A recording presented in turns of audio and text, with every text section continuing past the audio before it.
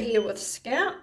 She came in yesterday with a swollen bulge on her cheek and it was really quite nasty. She wasn't really going to have a bar of us sticking a wee needle in so we uh, did pop her on antibiotics overnight assuming it's an infection and today we've anaesthetised her to have a closer look.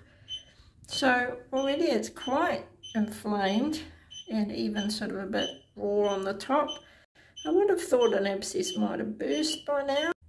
So this was actually about four centimetres in diameter, definitely on the outside. Her mouth doesn't look too bad. There's a wee bit of a, a rub on the inside, a wee bit red, but that was just because the swelling pushing on the tooth. I'm quite happy it's not a tooth root abscess.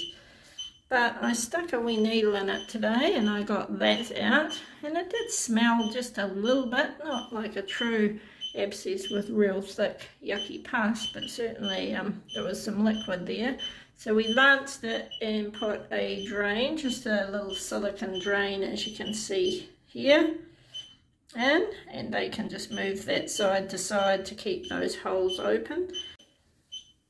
But what I did do is use this scoop and I call it ice cream scoop or it's really a curette and I popped it in this lower hole and just scooped around just cleaning any loose tissue off. And I come out with a clot of blood but interestingly enough in that clot of blood there was a grass seed. So that's quite amazing. That explains why it's so inflamed and festering.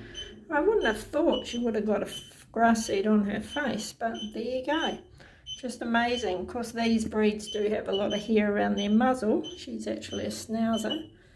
But no, good outcome. So we're going to get her on some more antibiotics, some wee bit of pain relief, and we'll take that drain out in about three to five days. And hopefully she'll be feeling a lot better for it.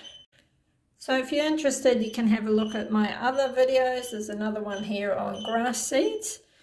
Don't forget to subscribe if you're interested in following my channel and you will learn more. Thanks for watching. Bye.